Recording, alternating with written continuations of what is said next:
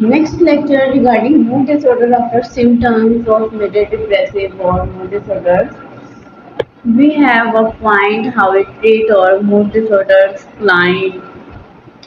तो बेसिक क्या पॉसिबिलिटीज हो सकती हैं कि हम ऐसे क्लाइंट को ट्रीट करें उनका ट्रीटमेंट प्लान और इंटरवेंशन लेके चलें हमारे पास जो कंसर्न सिम्टम्स जिसकी आती हैं मूड डिसऑर्डर की वो हमारे एक तो इंटरप्रिटेशन और इंटरप्रिटेशन के साथ हमारे ऑब्जर्वेशन पे एज अ थेरेपिस्ट आपकी एक्सपर्टीज पे डिपेंड करता है। क्योंकि मूड डिसऑर्डर के पेशेंट्स उनकी हिस्ट्री इतनी इंटरेस्टिंग और इतनी डिफ़िकल्ट डिफ़िकल्ट भी उतनी ही ज़्यादा और इंटरेस्टिंग भी उतनी ही ज़्यादा होती है। तो इसमें आपको डायग्नोस करना मुश्किल हो जाता है। समटाइम्स सीजर्स जो हैं आपके वो भी इसी में सिंपल पार्शियल कम्प्लेक्स और डिफरेंट कैटेगरीज एग्जिस्ट करती हैं। वो जब एग्जिस्ट करती हैं तो आपका डायग्नोस करना और मुश्किल हो जाता है। तो ये सारी चीज़ें आपको आती हैं एक्सपर्टीज के थ्रू एक्सपीरियंसेस के थ्रू तो आप देखते हैं कि आपका क्या रूल्स एंड रेगुलेशन होने चाहिए, किन कंडीशंस की बेस पे आप जो है वो डायग्नोस कर पाते हैं कि ये बाइपोलर वन है टू है साइक्लोथीमिया है, या सीधा mostly to be very honest जो क्लाइंट्स आते हैं रियल फ़ील्ड में वो आते ही आपके पास जो है बाइपोलर अफेक्टिव डिसऑर्डर मीन्स कि उन्हें बाकी सारे डिसऑर्डर एग्जिस्ट कर रहे होते हैं। तो आपको मोस्टली तो पाकिस्तान में कशमाकश में जाना ही नहीं पड़ता। लेकिन आपके एक्सपर्टीज के लिए, आपके ट्रेनिंग के लिए ज़रूरी है कि आप बाकी के फीचर्स को भी देखें तो ही आप पूरा डिसऑर्डर डायग्नोज कर सकते हैं। वो कहते हैं, दिल की तसली के लिए गालिब ख्याल अच्छा है तो मूड डिसऑर्डर में आपका ये जो थेरेप्यूटिक इंटरवेंशन हैं, ये भी दिल की तसली वाला सीन होता है कि आप क्लाइंट को रिलैक्स कर देते हैं। मेंटली तौर पे उनकी बाउंडिंग क्रिएट हो जाती है, लेकिन चूँकि ये एक ऐसा डिसऑर्डर है जो कि विद ऑफ़ टाइम और सीजनल इफेक्ट्स और सिचुएशन के अकॉर्डिंग डिपेंड करता है क्लाइंट्स का। तो इसमें कभी हाइपर एक्टिव और कभी लोअर मोड होता है तो आप जो है लिमिटेड रिसोर्सेज के थ्रू उनकी साइकोथेरेपी करेंगे।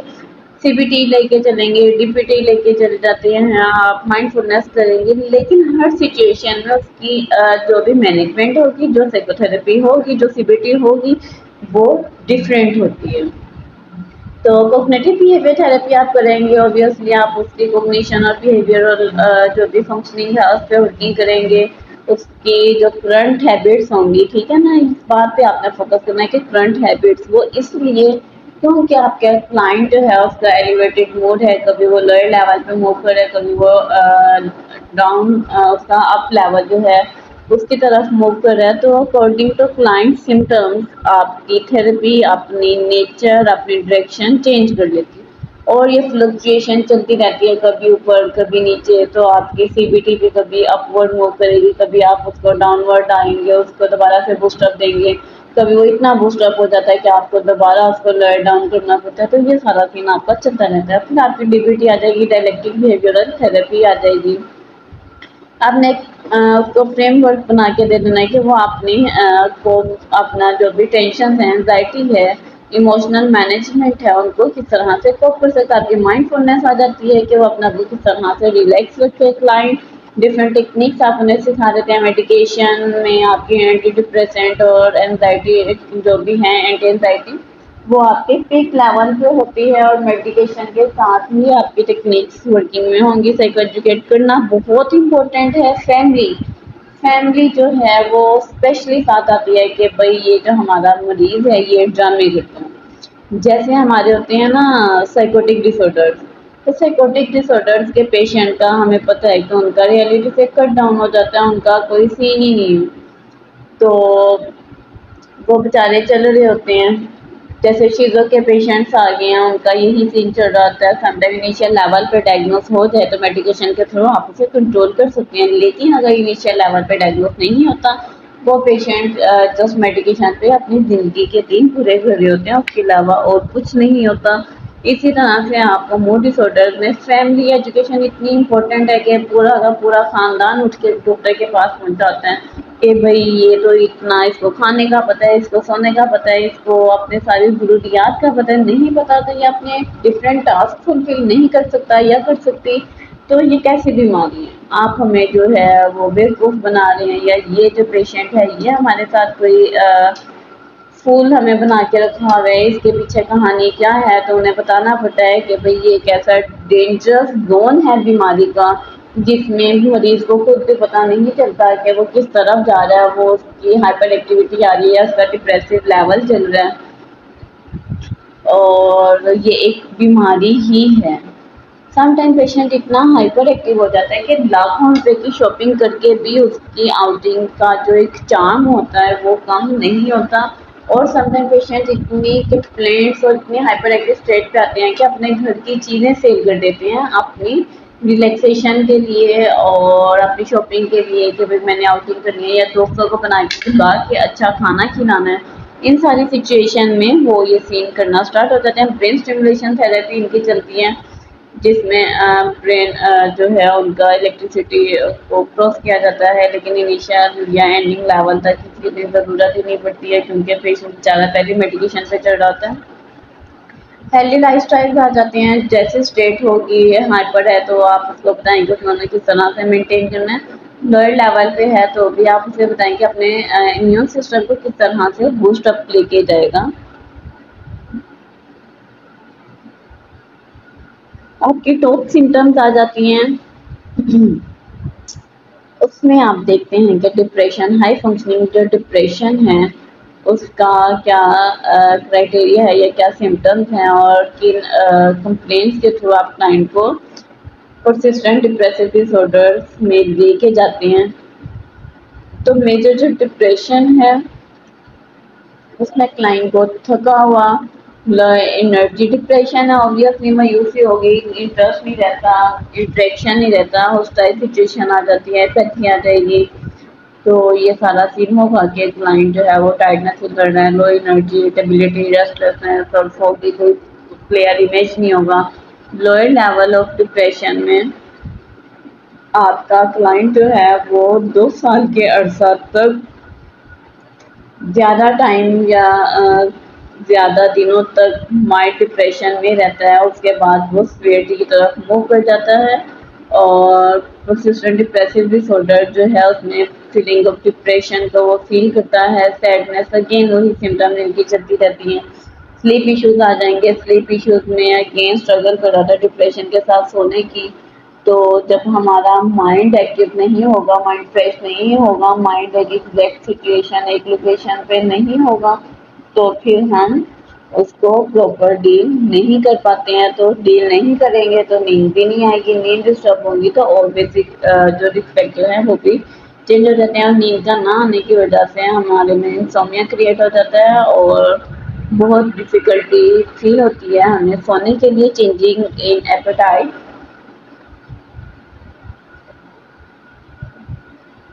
चेंजिंग जो है एपेटाइट आपका भूख का जो डाइजेशन सिस्टम है, वो भी डिस्टर्ब हो जाता है। अगर आपको भूख कम लग रही है, आपका वेट लॉस हो जाएगा। अगर आपको भूख ज़्यादा लग रही है, आप ज़्यादा खाएँगे तो आपका वेट गेन होना स्टार्ट हो जाएगा दो सेल्फ स्टीम आ जाएगी, आपका कॉन्फिडेंस लेवल जो है, वो लोगों में वैसा नहीं रहता। आपको लगता है कि मायूसी ही सब कुछ है, आप कुछ भी नहीं कर सकते, आप उठ के पानी भी नहीं पी सकते, आप लोगों से इंटरेक्ट भी नहीं कर सकते हैं। आप प्रॉपर वे में बात नहीं कर सकते, आप में नेगेटिव फीलिंग्स नेगेटिव थॉट्स आ जाते हैं और आप वो ही नेगेटिविटी आप पे एक कवर बिल्ड कर लेती है, एक शेड फॉर्म में आपके सामने आ जाती है। फिर आपके पास ट्रबल कंसंट्रेशन आ जाएगी। कि आप अपने डिसीज़न भी नहीं ले सकते। जब कॉन्फिडेंस नहीं होगा सेल्फ स्टीम नहीं होगी होपलेसनेस होगी तो आप कोई भी डिसीज़न नहीं ले पाते हैं और आप में होपलेसनेस अगेन फिर आ गया ना उम्मीदी आ जाएगी तो वो बहुत सारी मसाइल की एक जड़ है, एक रूट कॉज है, एक फंडामेंटल बेस है तो ये सारी चीज़ें आपकी चलती हैं। मेजर डिप्रेसिव डिसऑर्डर जो है, उसमें आपकी सिम्टम्स ज़्यादा स्वेयर होती हैं परसिस्टेंट डिप्रेसिव डिसऑर्डर के। एम टी टी और P T T P means persistent और एम मीन्स आपका मेजर डिप्रेसिव आ जाएगा। अच्छा जी मेजर डिप्रेसिव में आप लेके चलते हैं, आपका एक्सपीरियंस होता है डीप फीलिंग के साथ परेशानी बहुत ज़्यादा होती है। गहराई में जाके सोचना उस उदासी को उस नाउमीदी को महसूस करना, रात को सोने में आपका मसाइल होंगे खाने पीने के मसाइल होंगे, वो जो है डाइजेशन सिस्टम वो प्रॉपर वर्किंग में नहीं होगा। इंटरेस्ट लेवल नहीं रहता, लोगों के साथ इंटरेक्शन नहीं करता इंजॉय नहीं करते हैं। सेल्फ हार्म या सोसाइटलाइजेशन के जो ख्याल हैं, वो आना शुरू हो जाएँगे। फिर आ जाता है कि आपका बाइपोलर डिसऑर्डर जैसा कि हमने देखा कि मैनिक जो डिप्रेशन है, वो आपका आ जाएगा। बाइपोलर डिसऑर्डर में, जिसको आपके मूड की एपिसोड्स चलती हैं, आपका इंटेंस इमोशन स्लीप इश्यूज़ और एक के बाद एक ख्याल जो हैं, वो चलते रहते हैं। फिर आपके पास जो है बाइपोलर डिसऑर्डर में आ जाता है हाई जो पीक लेवल की सिचुएशंस होती हैं लाइक मैनिया और हाइपोमेनिया और इसमें आपका डिप्रेसिव एपिसोड आ जाएँगी बाइपोलर वन की भी। और आपके एक्सपीरियंस जो है बाइपोलर टू का डिप्रेशन भी साथ में फील करें इसमें आपकी सिम्टम्स आ जाती हैं ट्रबल कंसंट्रेशन होपलेसनेस हेल्पलेसनेस आपकी फीलिंग सैड आ जाएगा। आपका जो है लो एपिसोड आना स्टार्ट हो जाएँगे, कभी लो कभी हाई एक सर्कल आपका स्टार्ट हो जाता है। मीन्स कि आप घूम रहे हैं ना, एक आपकी कभी ऊपर, कभी नीचे, कभी ऊपर, कभी नीचे वाला। सीन जो फ्लक्चुएशन है, आपकी वो स्टार्ट होना शुरू हो जाएँगी, वो आप फील करेंगे कि कैसा चल रहा है। साइकोथेमिक डिसऑर्डर जो हैं, उसमें अगेन आपका बाइपोलर डिसऑर्डर जो है समटाइम माइल्डर स्टेट पे होता है और अप्स एंड डाउन आपके मूड के चल रहे होते हैं और दो साल तक आपका जो है सिम्टम्स होनी चाहिए और वो सिम्टम्स भी डिप्रेशन की हों वट इज़ मेनिया बेसिक यहाँ मेनिया और हाइपोमेनिया को डिस्कस करते हैं तो मेनिया जो है, आपके डायग्नोस्टिक क्राइटेरिया है बाइपोलर वन डिसऑर्डर में। अब मैनिया क्या है कि आपको मैनिक एपिसोड जो है वो या तो हफ़्ते के लिए होती है इससे ज़्यादा के लिए हो, जिसमें आप हाई एनर्जी और सेल्फ कॉन्फिडेंस मीन्स कि इतना ज़्यादा आपका हाइपर एक्टिविटी होती है कि आप भीड़ों में, भीड़ लोगों, ढेरों लोगों में जाके, भीड़ में जाके हजूम में जाके कॉन्फिडेंस के साथ कुछ भी कह सकते हैं, कुछ भी बोल सकते हैं, कुछ भी कर सकते हैं। आप में कॉन्फिडेंस लेवल इंक्रीज हो जाता है। फिर अगेन मैनिक एपिसोड जो है आपके उसमें आपके ज़्यादा बोलते हैं, जल्दी से बोलते हैं और टॉपिक से, एक टॉपिक से दूसरे टॉपिक पे जंप करते हैं। डिफ़िकल्टी आपको आ जाएगी इम्पल्सिव में कि आप जब जंपिंग स्टार्ट करते हैं तो आप में अंडरस्टैंडिंग नहीं रहती है, आपका बिहेवियर जो है अगेन यहाँ सिम्टम्स आ गया आपकी मैनिया में कि spending more money than usual और ड्राइविंग एट हाई स्पीड जब आपका मैनी होता है आप इतनी तेज़ी आ जाती है। हमारे पास ऐसे क्लाइंट आए round about three to four months ago एक पेशेंट थी अपने हस्बैंड के साथ आई और वो वन पॉइंट फाइव लैख जो है एक हफ़्ते में शॉपिंग पे यूज़ कर चुकी हैं। उसके अलावा भी वो सेटिस्फाई नहीं थे। वो लेकिन वो मज़ीद करना चाह रही थी। और बाहर घूमना, फिरना दोस्तों के साथ टाइम स्पेंड करना, वो ज़्यादा उसे अच्छा लगता था। इंस्टेंट कि वो अपने फैमिली को टाइम दे अपने शोहर को दे या अपने बच्चों के साथ टाइम स्पेंड करे। तो मैनिक एपिसोड में आपका जो हाइपर एक्टिव सिचुएशन है वो एक्टिव हो जाती है मनी और ड्राइविंग ये वो आपका स्टार्ट हो जाता है।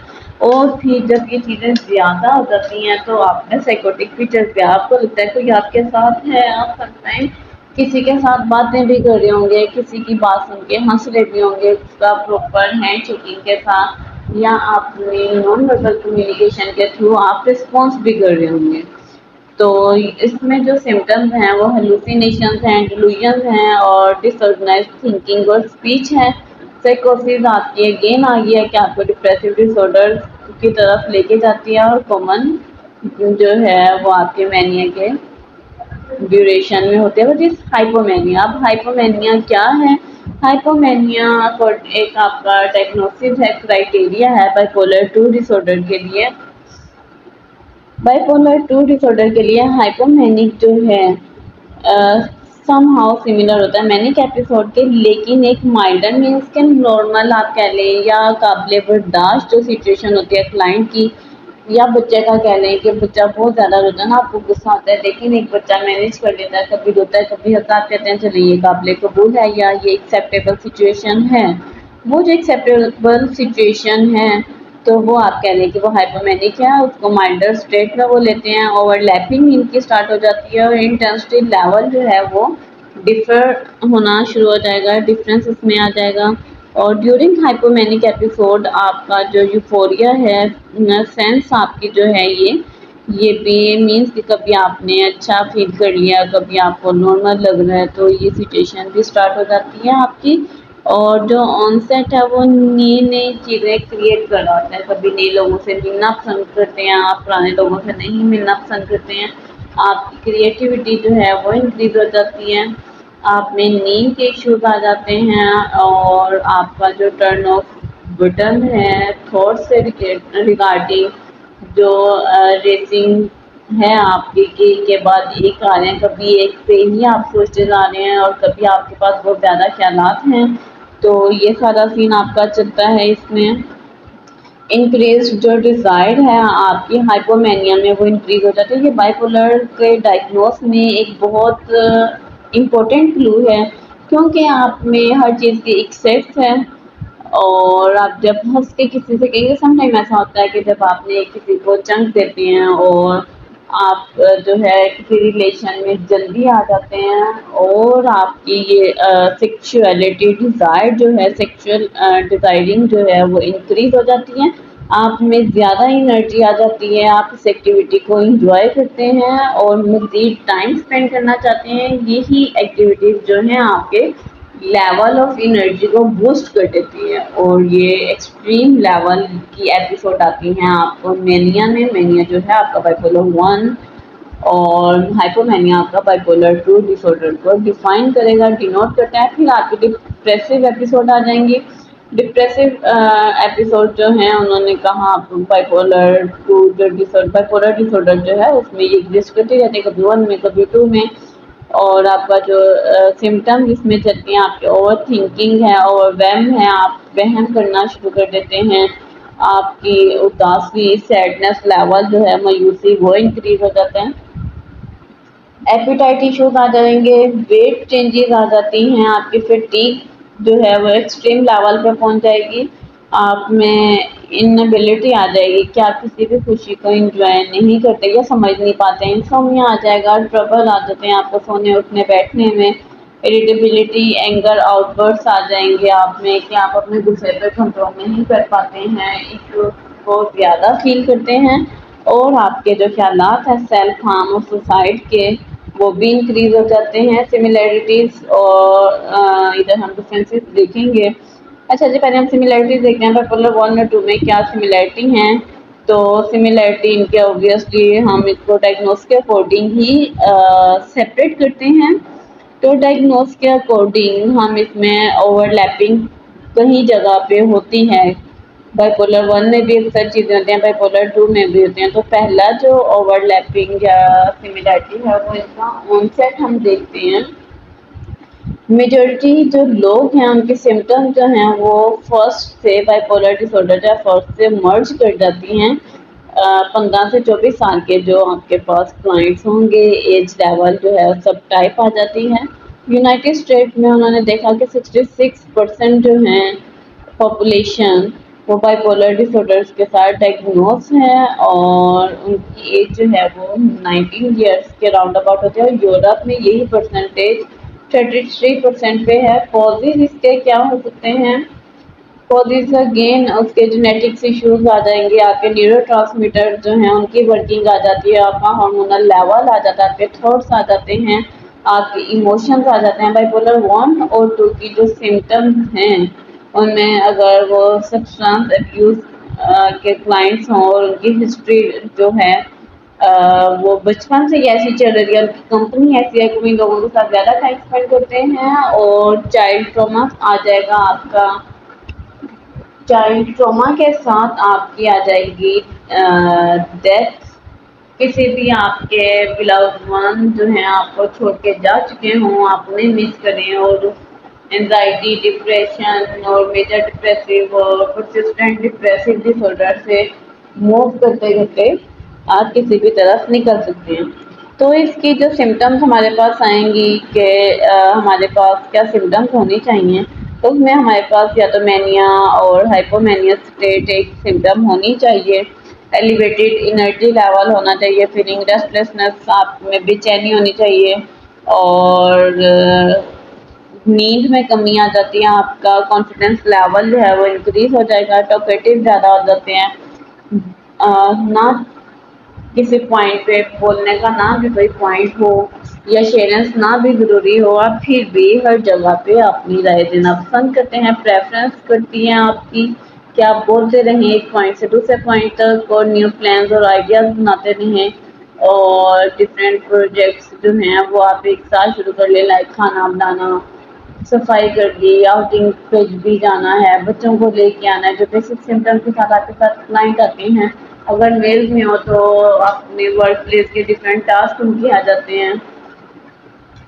और बहुत सारी उनकी इरिटेबिलिटी लेवल जो हैं वो इंक्रीज होते हैं तो उनमें डिफरेंट प्रोजेक्ट मीन्स के ज़्यादा काम वो एक साथ ही करना पसंद करते हैं।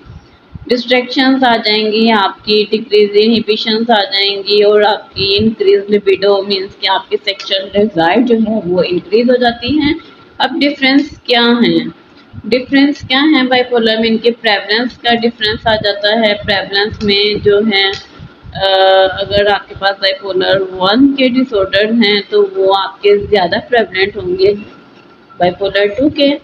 और अगर इलेवन कंट्रीज़ का इन्होंने रिसर्च डाटा जो लिया, उसमें देखा है कि पॉइंट सिक्स परसेंट जो लोग हैं वो बाइपोलर वन में इफ़ेक्ट करते हैं और पॉइंट फोर परसेंट लोग ऐसे हैं पॉपुलेशन ऐसे जो कि बाइपोलर टू के में सर्वाइव करती है। फिर डिप्रेशन लेवल आ जाता है इनका। डिप्रेशन लेवल में इनके जो भी रहने सहने का स्टाइल होता है और बाइपोलर टू के जो क्लाइंट्स होते हैं उनमें जेनेटिक जो चेंज है, वो बहुत ज़्यादा होता है, बहुत जल्दी होता है, जिसकी वजह से मेजर डिप्रेसिव जो क्लाइंट्स हैं वो आपके बन जाते हैं एकदम के इश्यू स्टार्ट हो जाते हैं, और वो उसमें मेजर डिप्रेसिव की तरफ़ वो करते हैं। और ये सारा सीन आपका बाइपोलर टू में होता है बाइपोलर वन में इतनी चेंजेस रैपिडली नहीं हो रही होती हैं। बाइपोलर टू जो है, आपका उसमें डिप्रेशन लेवल जो है, वो ज़्यादा फ्रिक्वेंटली मूव कर रहा होता है मीन के जल्दी से आपको डोमिनेंस उसकी नज़र आ जाएगी, ये परसेंट में होपलेसनेस इंक्रीज हो रही है। और डिफरेंट जो है, इन्होंने टू टाइप्स में उसके सिम्टम्स को बाइपोलर वन और टू को डिवाइड किया। बाइपोलर वन के जो पेशेंट है मेन टेंस और फ्रीक्वेंट सिम्टम्स होती हैं, जबकि आपके बाइपोलर टू के जो पेशेंट्स हैं क्लाइंट्स हैं उनमें सिम्टम जो हैं, वो कम होती हैं इंटेंस इतनी ज़्यादा नहीं होती। और आपके पास बाइपोलर वन में मैनिक एपिसोड जो है, वो कम अज़ कम एक होनी चाहिए और साइकोटिक फीचर्स कभी हो और कभी नहीं होते हैं। इसी तरह से आपकी बाइपोलर टू में हाइपोमैनिक एपिसोड होती हैं और इसमें साइकोटिक फीचर्स नहीं लाए फिर आपका मैनिया आ जाता है। मैनिया जो है राउंड अबाउट सेवन डेज़ तक रहता है एग्जिस्ट रहता है, उसमें आपका क्लाइंट सफ़र करता है। हाइपोमैनिया में राउंड अबाउट फोर डेज़ जो हैं, वो कंज्यूम होते हैं सिचुएशन में।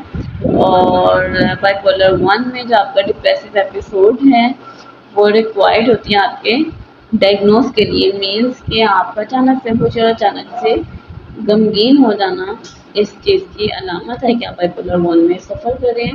जबकि आपका बाइपोलर टू जो है, वो डिप्रेसिव डिसऑर्डर्स में ज़्यादा एक्टिवली कंसिडर किया जाता है तो उसमें आपका जो डिप्रेसिव एपिसोड है, वो कम अज़ कम दो हफ्तों की होनी चाहिए। और सिम्टम जो हैं, अगर ना आपको मिले बाइपोलर वन की तो हॉस्पिटल ले जाना हॉस्पिटलाइजेशन ट्रीटमेंट जो है, वो ज़्यादा इम्पेक्टफुल है।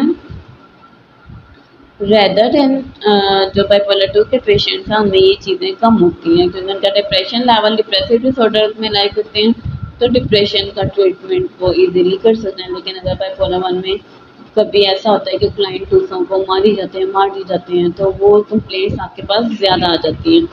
सम टाइम बाइपोलर वन में ऐसा है कि एक्सेक्स ईटिंग आ जाती है, खाई जाना एक ही चीज़ को या सम टाइम इतना फेडअप होते हैं, घर से भाग जाते हैं तो इस तरह की जो भी सीन होते हैं, फिर आपको हॉस्पिटलाइजेशन हॉस्पिटल जाना ज़रूरी हो जाता है ताकि आप proper treatment under observation receive करें।